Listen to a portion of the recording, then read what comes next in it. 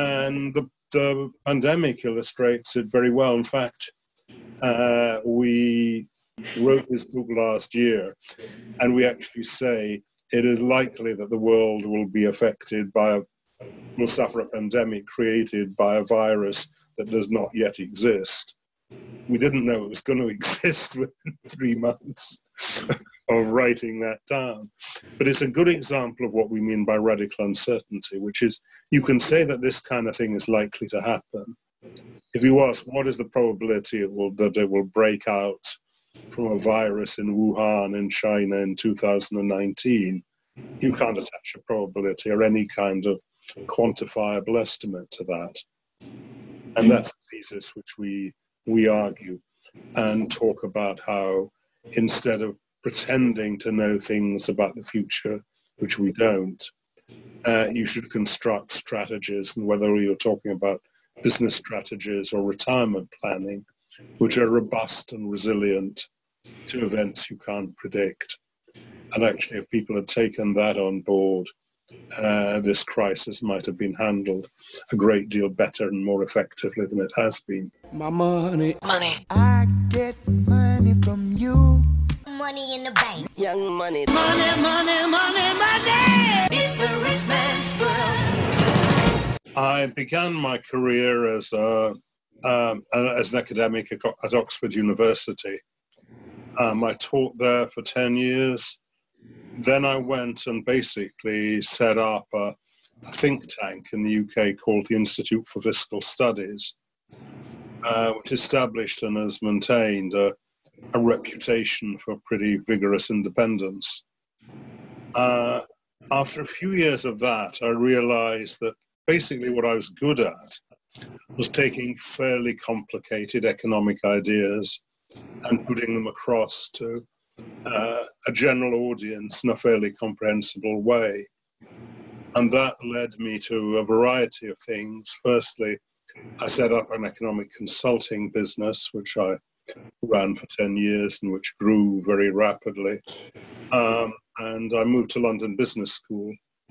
I became a professor there and taught there for 10 years. Uh, but actually, the consulting business grew very rapidly until running it became essentially a full time job. But after doing that for a bit, I sold out of that, went back to Oxford University for a bit to help establish a business school there, uh, which was in some ways an exciting thing to do, in other ways, the most frustrating years of my life, uh, trying to um, uh, get things done in an institution that has been going for 500 years and accumulated a lot of barnacles along the way. Uh, after a bit, I got fed up with that, and since then, I've basically focused on writing and doing pretty much what I like uh, with a uh, background having sold out of a consultancy that means I basically don't have to do things I don't want to do, which is position to be in. Well, we need more John Kays, you know, and, uh, you know, uh, it's so interconnected today, John, and, and I, I just, I want to give an example because I was reading the Wall Street Journal, the Financial Times last week, I can't remember what it was, and there was a, um, I don't know if you saw this, but there was a, uh, uh, there was a offshore uh, drilling contractor, Valaris, PLC, you ever heard of them? No, I haven't. Okay, it's the largest oil drilling company in the world, all right? And, and I said to myself, holy moly, it's, it's headquartered in London, it's listed in, in London. They filed bankruptcy last week or the week before, or administration, as you say in the UK.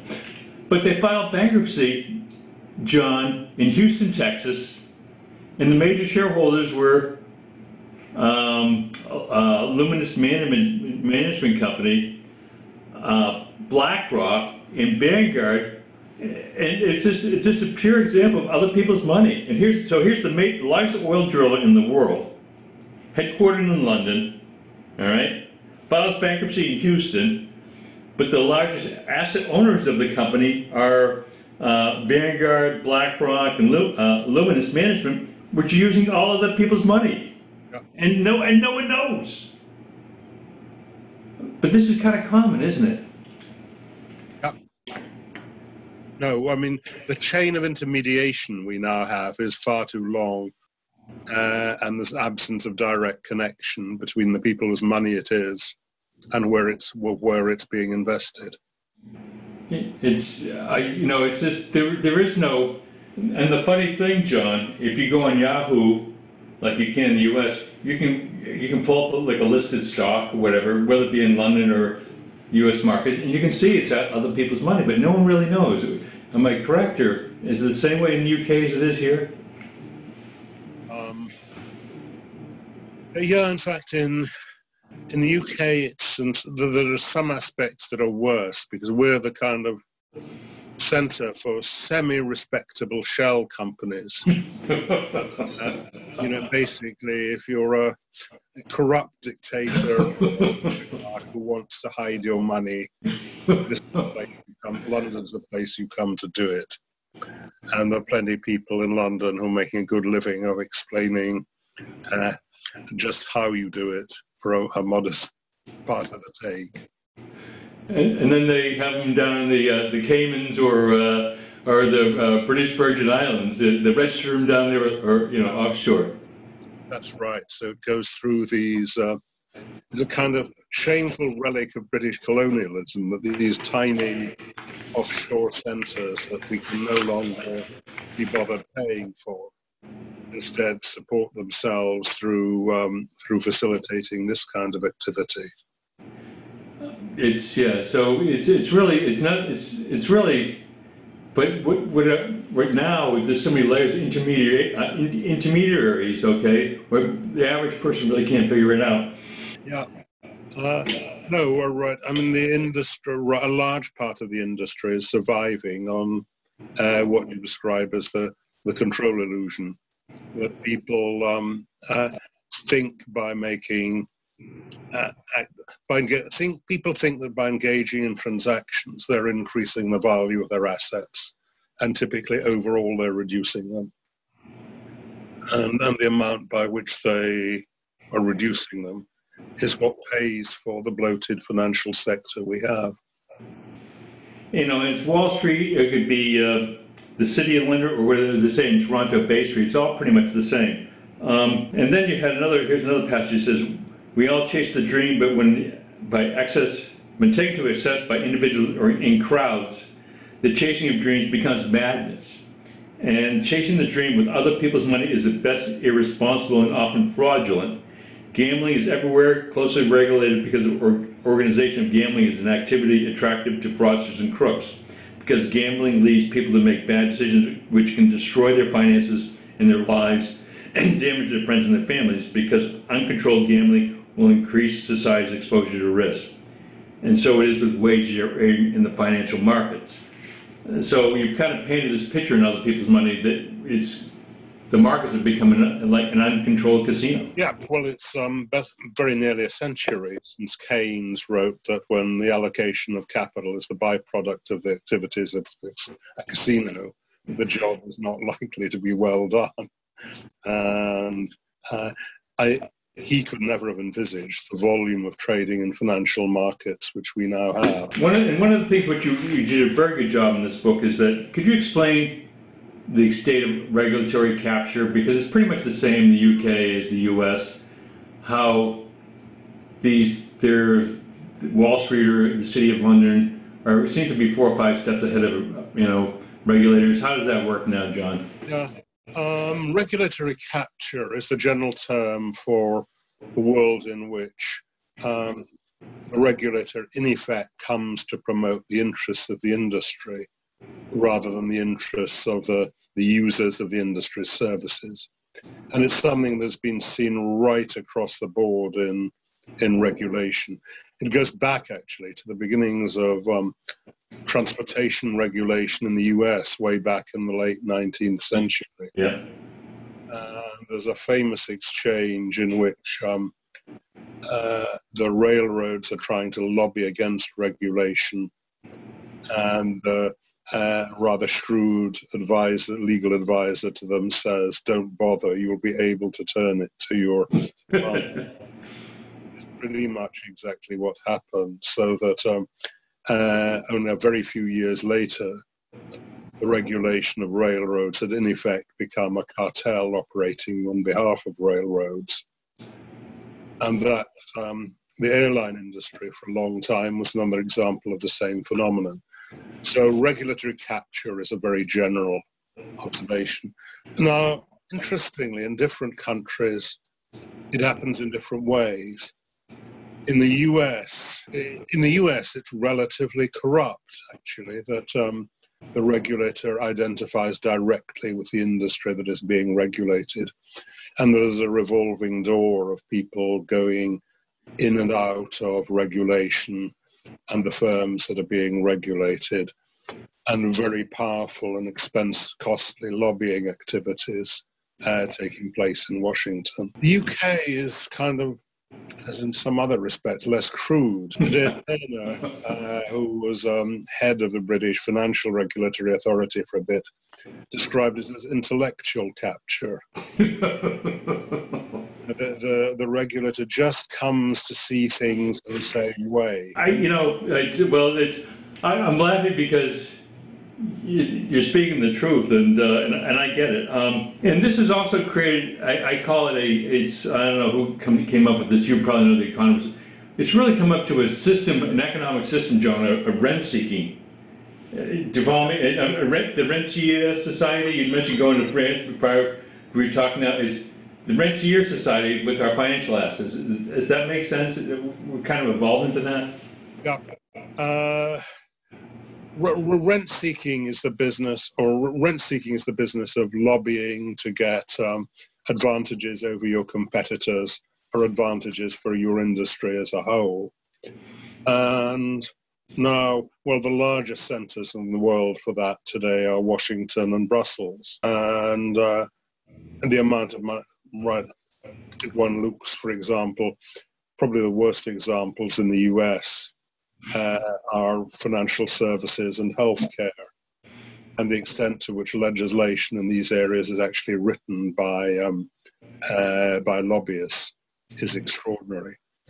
And there are other industries that work in depressingly similar ways. Um, farming would be another one, which is in most advanced countries very largely dependent on the, the political success of the lobbyists. Rent seeking. So what I've seen, John, and what I've found that most of the systems, I mean, they may have different names, but they're kind of the same.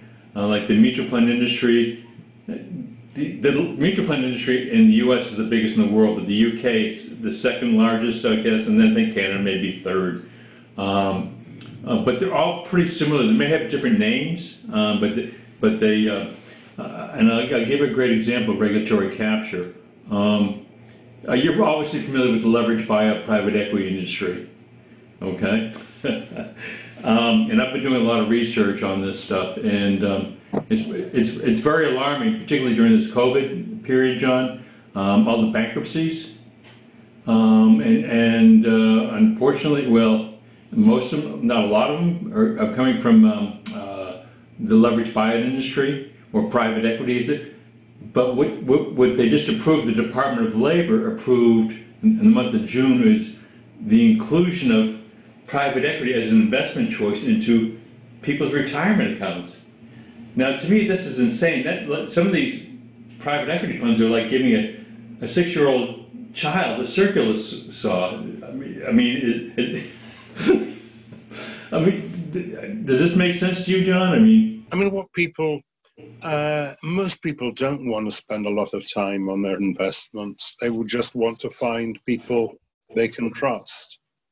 And half a century ago, uh, you know, banking might have been, when banking was the rather boring business uh, it once was, uh, people felt they could go into uh, banks at least and get financial advice, which was reasonably disinterested and aim to help them.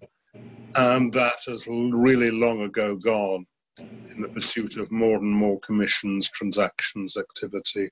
and the like. And what we need one way or another is, is to try and get back to that. It's not actually loads more regulation.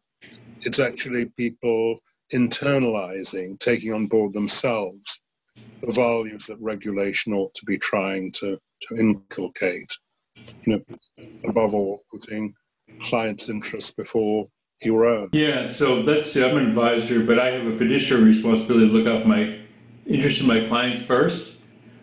But if I represent a, a bank or a broker dealer, they represent the house, and um, you know I, I take this really. res- Um, uh, I think it's it's a gift to be given this privilege, but I just see it in the markets now. It's crazy. It's just like um, gambling with other people's money. Um, And you know the amount, the amount of lobbying that has been has gone to prevent uh, obligations being imposed on U.S. financial advisors. And, and what they're doing, unfortunately, is that they're wiping out. It's, it's making it very difficult for the smaller guy to survive because of the because of the complexity. Yeah. Um, you know, it, it, that's that's because of the these giant asset managers. They they can spend all they want. Yeah, I mean, what one of the little notice features of regulation is the extent to which it favours large firms over small. Partly because large firms can afford to do the lobbying, and secondly because the costs of employing a compliance department and the like um, can be spread over many more activities and customers in a large firm than they can in a small. Are basically economies of scale in dealing with regulation. One of the things which I, I think I get this really from the uh, I think maybe from Greed is Dead book, but um, to me it seems that um, I think this is from your uh, Greed is Dead book, which is we'll get into in a bit, but it seems to me that uh, the financial companies saying they're the great allocators of capital. Um, uh, but it seems to me that they're more successful at extracting capital out of the companies, their, their target companies, if you will, than than um, than investing capital. Does that make sense? Yeah, I mean, people don't understand that it's a long time since equity markets were a way in which companies raised uh, raised capital for investment. Um, nowadays, um, in Britain and the United States, more money is taken out of the stock market through share buy- buybacks uh, and acquisitions for cash than is raised in IPOs and rights issues so that the stock market today is a means of taking money out of the corporate sector, not a means of putting it in. And that's not entirely bad because um, you're providing liquidity for early stage investors and the like. But it's not the way people, uh, either in the industry or outside it, think about the way in which uh, in which markets work. Yeah, because uh, matter of fact, next week, um, um, the gentleman, the foremost researcher of uh, uh, buybacks, uh, hang on, I, I'm just trying to hang on one second. The uh, the let's see, William Lazonick. I'm gonna have him. I'm interviewing him next week. But he he's kind of the expert on buybacks because in the U.S., John, it, there's been 5.3 trillion uh, of uh, stock buybacks over the past decade. I mean, I, to me, it's just, and that's essentially benefiting the insiders. I mean, I mean, a lot of it is that uh, since management remuneration got much more related to stock values, uh, companies more and more preferred to buy back shares rather than pay out dividends. so yeah, but there really hasn't been. Now, like I have a small business, so when I, I reinvest a lot of my money in equipment and IT and things like that, but it seems to be just really taking the money off the table, and then. Um, which I couldn't believe is that the you don't have it as great, but you have the dividend recap, recapitalizations, if you will, um, uh, in the UK and the US, where they lever up a company and extract money with essentially additional debt. Well, that's back to what you were describing earlier in terms of the leveraged private equity buyout. And in truth, some of the pri- private equity can either be very good or very bad. It can be a vehicle and sometimes is for long-term patient investment in early-stage companies, or it can be what it often, much too often is, is gearing companies up to massage the earnings for two or three years and then sell it on or float it back on public markets. Now, another question I have, John, you're, you're pretty high up in the UK economic uh, expertise level. Has anyone kind of given you, because uh, you wrote a book with Mervyn King, am I correct? Yeah, that's right, radical. You know, so um, have you get any blowback from speaking the truth to people? Oh, yeah. But, but, but you get a lot of positive reactions as well. Um, I don't get invited to give speeches at Goldman Sachs conference. I, can, I can live without that. But uh, in, in, Mervyn King, what was the book you did with Mervyn King about? Uh, it, it, it's, it's, radical uncertainty. Oh. Radical uncertainty. So, and uh, and I haven't read that one, but that was about just all the fragility of the markets now, or it? It's not particularly about markets. It's a much more general set of arguments uh, that says that the scope of probabilistic reasoning has been greatly exaggerated. And people have built models round about believing that you can describe uncertainty probabilistically. Uh, and actually, the importance of that is that most of the finance theory that gets taught in uh, business schools and CFA courses, and much of what is called modern rational expectations macroeconomics is based on the belief that you can describe uncertainty in that sort of way. And we argue at some length and uh, with many examples in this book that that just can't be done. I would agree with you. I, I call it, I keep it simple. It's like these guys are trying to play God. We don't know what interest rates are going to be. We don't know where the stock market's are going to go. We don't know if we're dying, become disabled. We just don't know. I don't know what I'm having for lunch today, John. Never mind what's going to happen next week. So these all these models, it, it's almost like they're they're playing God. They're trying to predict the future. Yeah, or uh, simply making up numbers uh, that uh, you construct yourself or yourself a spreadsheet uh, that would give you the answer to a question and then you discover you don't know what goes in cells of that spreadsheet. So you make all these numbers up. Uh, and uh, uh, if you describe that to as whether man in man or woman in the street, uh, obviously insane as it is. But there's a whole industry of doing that. And what I've just described applies to actuarial modeling of pension funds at one end, or we we talk a, a, a little bit about some length about uh, a UK model which is used for appraising transport projects. So if you want to, and there's a set of numbers prescribed for that. So if you want to know how many passengers there will be in a car on average on a Friday afternoon in 2036, and, and so on. Uh, if you want to know what Britain's growth rate will be in 2080, you can get the answer to two decimal places. All these answers are just made up to enable people to uh, use these spreadsheet models. You know, John, this is, you know, I, I, I laugh about this because I, I, I think I said one of my first books, I'll send you, I wrote a book on target date funds, which are mutual funds. Do you have the same thing in the UK where, like, specific, like, retirement date, like 2030 or 40s? Oh. Is it, you have those over there, right?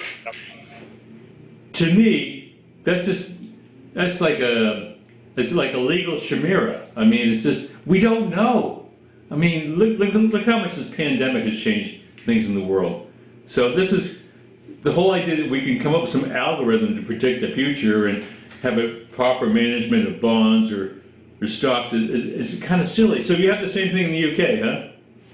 Yeah, uh, and the, the pandemic illustrates it very well. In fact, uh, we wrote this book last year, and we actually say it is likely that the world will be affected by a will suffer a pandemic created by a virus that does not yet exist.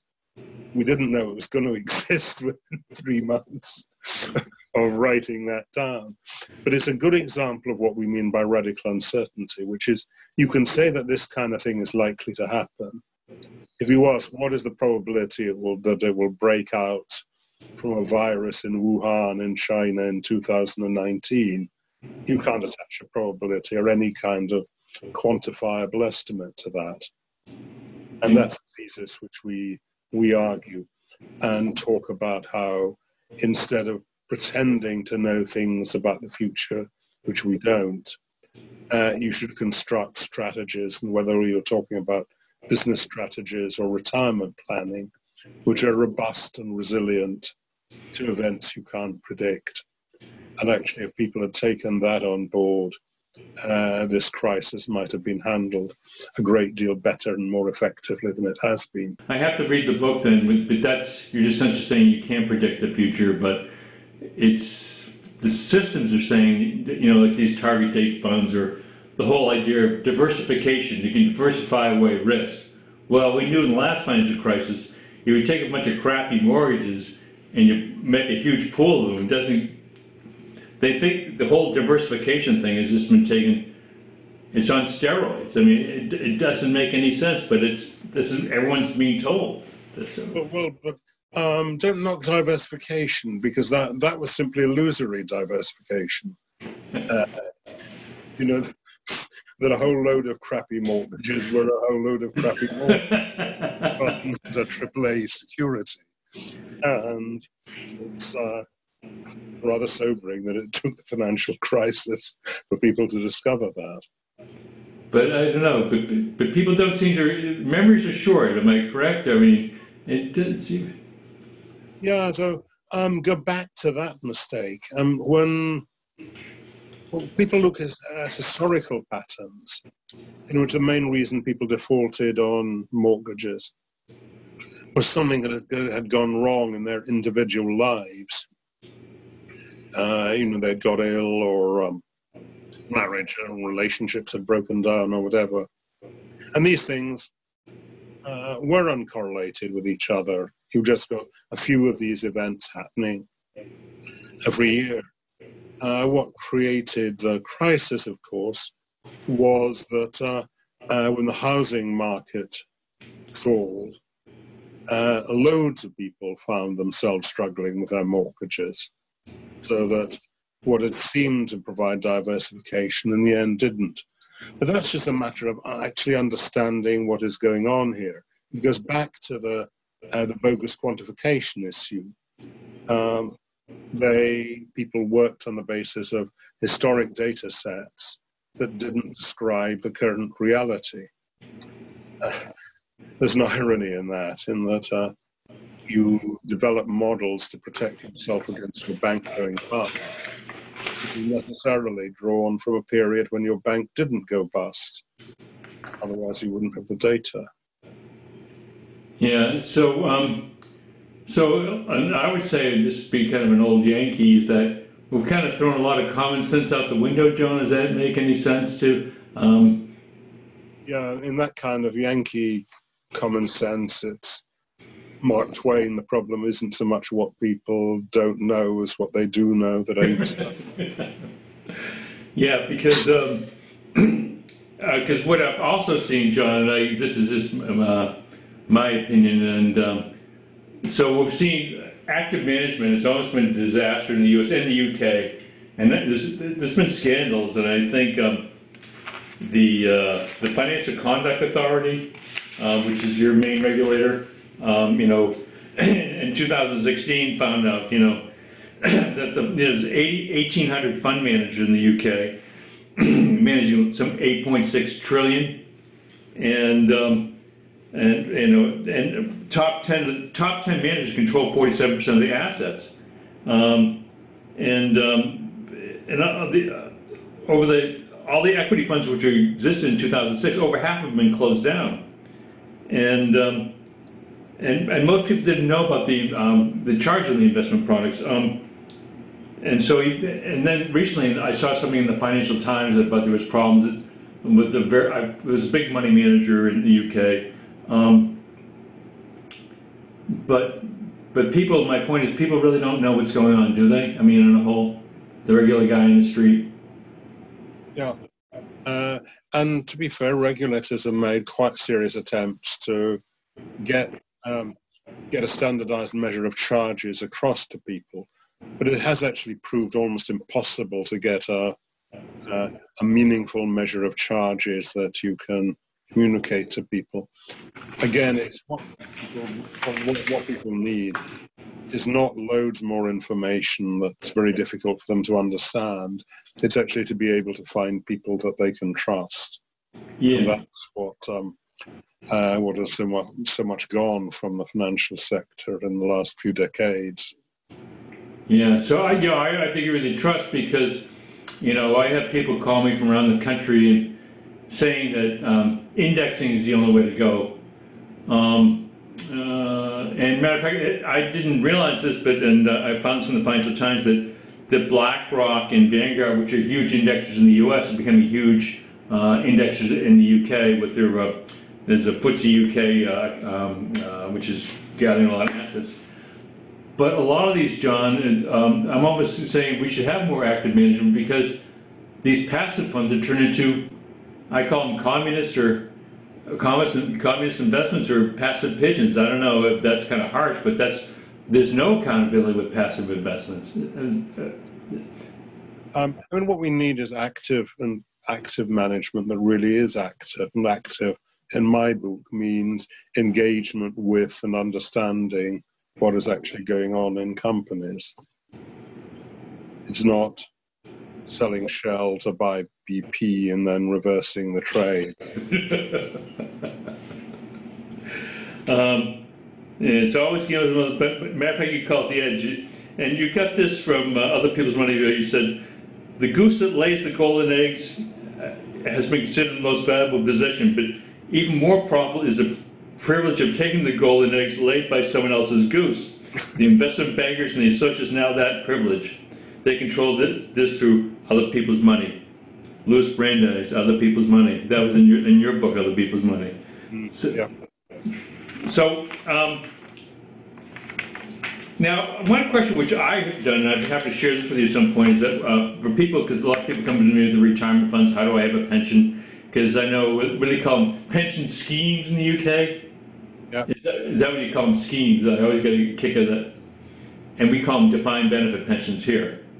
Uh, right. We, we use the same terminology in the UK as well. But in the UK, um, defined benefit schemes are virtually dead outside the public sector now. Yeah, and the same thing with the U.S. So there's one of the things which I've done the research is, um, and uh, thank God for the internet, but I found a lot of these major uh, companies um, from uh, uh, are using life insurance annuity products, um, you know, to de-risk, essentially to to uh, trans- risk transfer to uh, to third parties. Uh, uh, examples include you know, British Telecom, British Airways, General Motors, Lloyd's Banking, Merchant Navy Pension Plan, Rolls-Royce, FedEx, HSBC, ICI Pension. I, there's two, three hundred more that I can name, but they're really they're, so there is kind of a, um, a certain amount of safety with the insurance companies because, because they're not levered up like the banks. No, but the insurance industry doesn't really have the capacity to absorb all that. I mean, They don't. That's right. And people have talked about well, British Airways as actually being really being an investment company with a small airline. That's what they say about General Motors. yeah. yeah, So, no, no, that, that, that's a problem of capacity.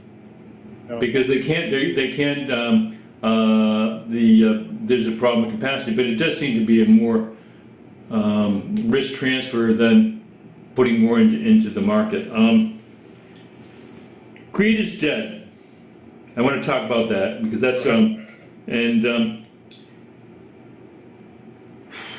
it's the book is a great book it is it's kind of about the rise of technology the complete financialization financialization of the uk and the us uh, can you explain that to our viewers Um, the real theme of greed is dead is that the last half century we've had a heavily individualistic approach to the world, uh, which has really denied a role for agencies other than the individual and the state.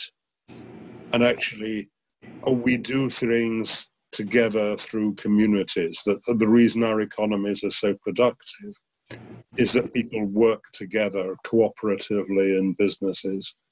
Uh, and the reason people, uh, what gives people fulfilling lives, is being parts of the communities of Yeah. place in which they operate.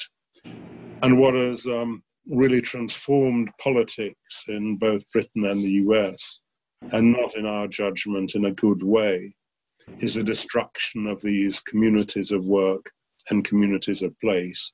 So the corporations are represented as people each trying to line their own pocket. And communities of place have been hollowed out, uh, particularly as uh, able people in provincial areas have left to go to higher education elsewhere, and as the manufacturing industry, which employed, created communities of not very skilled work, workers who uh, operated together, um, have been um, have been hollowed out. You have many examples of that in the US. In the book, we focus on two particular examples in the UK. One of which is Don Valley, which used to be a mining community. Uh, that mining has gone, as it basically no more coal mining in the UK anymore. Uh, and Stoke on Trent, which used to be uh, really the ceramic centre of Yeah. Europe, to some degree, the world. And that ceramic industry, uh, there are still some head offices of companies there, uh, but that has now gone to the Far East production, uh, and the, the, the mines have closed. And the main activity that happens in in Don Valley now is logistics, warehouses for people uh, who deliver your product, Amazon products and things like that. And even worse than Stoke on Trent, uh, the the largest the largest employer in Stoke on Trent is now one of the firms that's engaged in online gambling or that Yeah. provides an online gambling platform.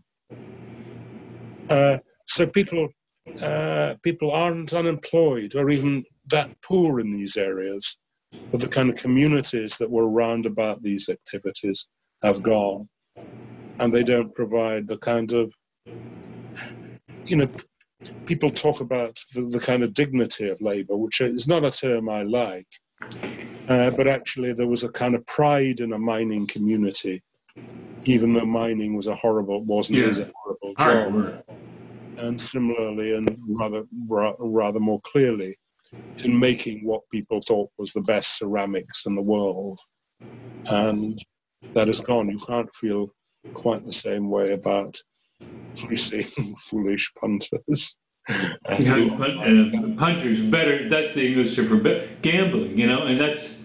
Um, I, I mean, but if you look, who was the? Uh, and I've been doing the research, but a lot of these these gambling firms, the biggest, John, was there was Gala Coral. That's in the UK. Um, that was a big one. Am I correct? That was huge. And th- that ended up in administration or bankruptcy. Getting there was UK private equity firms and U.S. private equity firms, and then the, the biggest one was Caesars Entertainment in, in the U.S., done by Apollo and Texas Pacific Group, they went bankrupt too. So it's just, I don't know, it's just this, this gambling has just been turned. yeah although that's a slightly different story it's um, of endless taking what are potentially viable businesses and putting in more leverage than the businesses can take. And uh, one of the big issues over the couple of years of this coronavirus, coronavirus crisis uh, will be seeing how many of these businesses that are viable in the long run can survive the kind of pressures go through. I've, I've been giving a little attention to uh, one of the industries that has really suffered uh, from all of this. Uh, it's UK budget hotel industry, the, the kind of roadside uh, chains that operate things like your motels, really. Yeah. Travel lodges, what it was Travelodge? one? Travelodge is one. The two big ones in the UK are Travelodge and Premier Inns.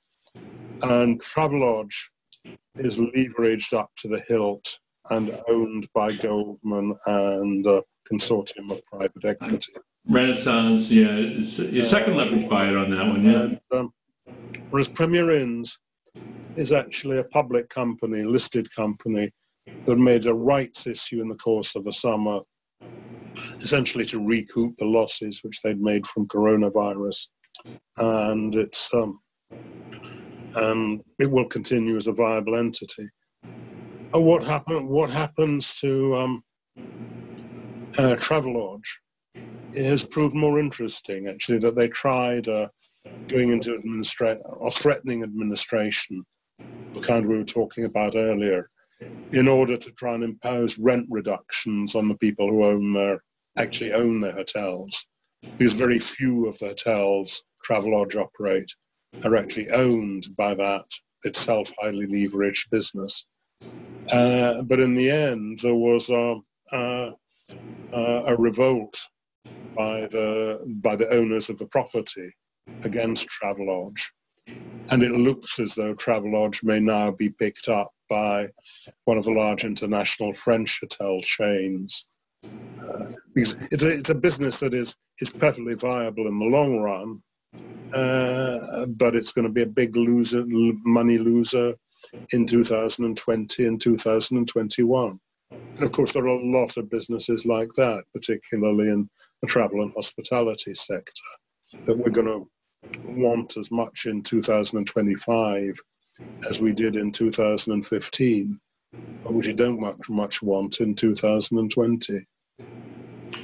So, so um, this has been great. So what's the solution, John? I mean, um, you know, we, we're kind of on the same page here. Getting back to community, I mean, I, I Yeah, uh, and community takes you to the heart of what I would mean by responsible business, uh, which is an agenda that gets distracted, I think, into people talking about carbon emissions and uh, you know what proportion of women you have on your board. As far as I'm concerned, it's it's actually really about uh, building businesses which understand you make profits in the long run by serving customers and looking after your employees. And that's what we need to get back to people about thinking about business in this sort of way. He counted on America to be passive. He counted wrong.